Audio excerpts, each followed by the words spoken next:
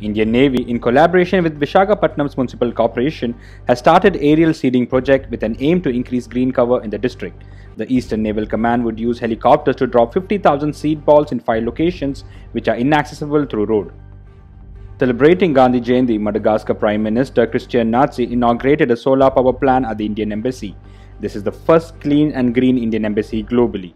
The embassy is said to be equipped with 8 kilowatt solar plant installed by Vision Madagascar.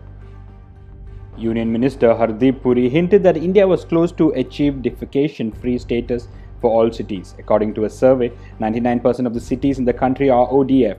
However, due to COVID-19, the survey could not be completed in West Bengal. The Kerala government has imposed CRPC Section 144 in its capital, Thiruvananthapuram.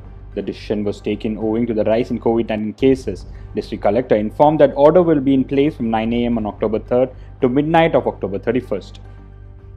Under the Tandurust Punjab mission, the Punjab Chief Minister launched a project for construction of 750 stadiums and playgrounds in the rural areas of the state. The Chief Minister said that the project, which will cost rupees 105 crore, aims to help youth channelize their energy. Maharashtra government has formed an 8-member committee to implement the mandatory Marathi education for class 1 to 10. Earlier in June 2020, the government had passed an act to make Marathi a compulsory language across all mediums and boards. The Uttar Pradesh government suspended Superintendent of Police, Deputy SP and District Magistrate of Hathras following an uproar against gruesome rape incident.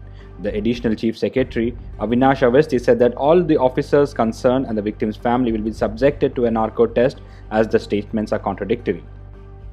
New and advanced version of nuclear-capable missile Shaurya was successfully tested off the coast of Odisha. According to reports, the missile would be added to the strategic forces to complement a similar existing missile. Alarming against the growing distrust, UN Chief Antonio Guterres said that the world is living in an environment of nuclear disaster. He urged the US and Russia to extend the disarmament treaty START, which is set to expire next year. Inter Milan's forward Romelu Lukaku has been awarded the UEFA Europa League Player of the Season for 2019-2020.